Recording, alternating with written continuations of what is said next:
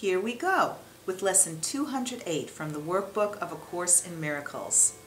Lesson 208 is a review lesson.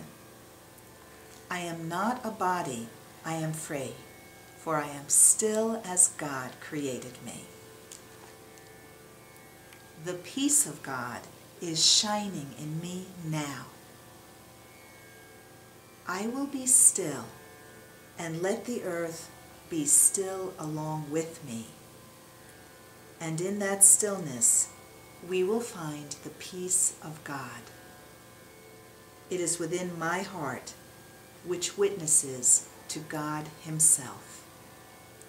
I am not a body, I am free, for I am still as God created me. That's lesson 208, a review lesson. If you'd like to read my commentary on the workbook, go to amytorresacim.com blog. Namaste.